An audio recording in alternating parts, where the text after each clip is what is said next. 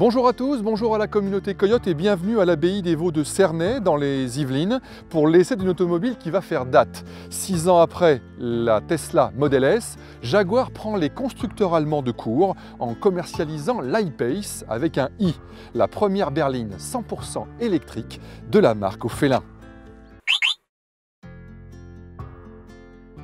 Ni break ni vraiment SUV, l'iPace est un drôle d'engin au style volontairement décalé. Un toit très bas, des porte-à-faux très courts et un empattement royal pour offrir un maximum d'habitabilité. Avec ses projecteurs inspirés du SUV F-Pace, ses feux rappelant la berline XE et ses poignées de porte affleurantes repris du Range Velar, le nouveau venu marque son appartenance au clan.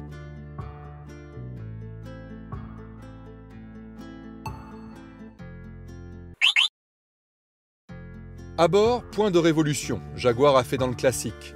Au menu, une planche de bord au dessin élégant et à la finition soignée, parsemée de trois écrans à affichage digital. Le sentiment d'espace est bien réel et il est même accentué par la présence d'un grand pare-brise panoramique.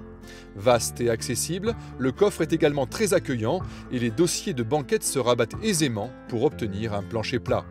Quant au petit coffre à l'avant, il contient les câbles de recharge.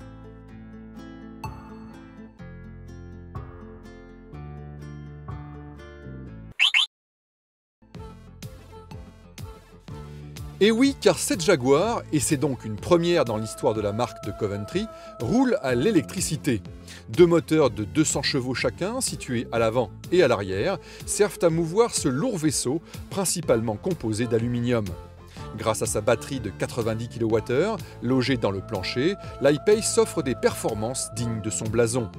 La réponse à la pédale est immédiate et le silence omniprésent. Doté du train avant du coupé F-Type et de la suspension arrière multibras du SUV F-Pace, l'anglaise brille par son dynamisme, moins par son confort, surtout en présence des jantes de 22 pouces. Son système de récupération d'énergie au freinage permet de ne pratiquement plus faire usage de la pédale de frein et sa transmission aux quatre roues lui facilite les escapades en pleine nature.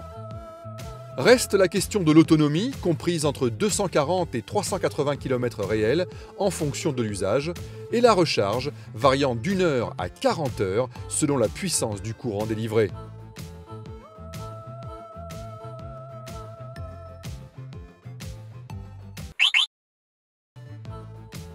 Même avec 6000 euros de bonus, l'iPace demeure un luxe. Elle coûte cependant près de 10 000 euros de moins que sa rivale, la Tesla Model S. Dans le cadre d'une location longue durée, Jaguar propose moyennant 150 euros de plus par mois la mise à disposition d'un F-Pace diesel pendant 8 semaines par an. Peut-être de quoi lever les dernières inhibitions.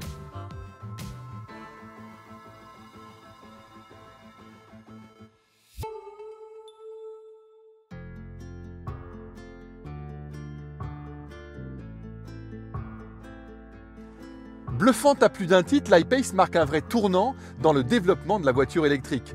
Même si l'engin n'est pas encore parfait et que son prix est encore un peu trop élevé, il a le mérite de proposer une véritable alternative à Tesla.